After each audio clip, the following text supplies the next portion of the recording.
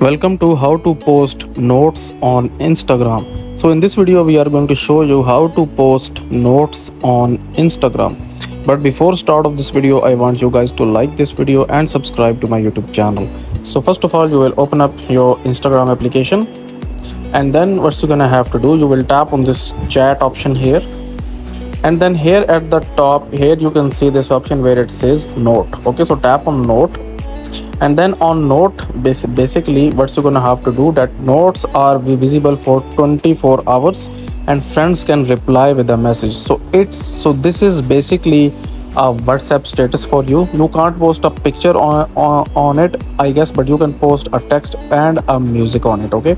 And it will remain on your profile for the next 24 hours and your friends can basically reply you.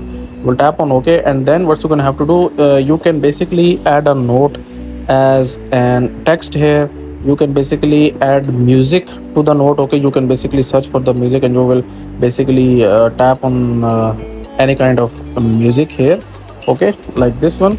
And then what you're gonna have to do tap on done here and the music is now added with your note. And you can also now post the picture as well. So basically i think we can post a picture. We can basically uh, i can i think we cannot post a picture from the gallery itself but we can uh, click the photo and then post it.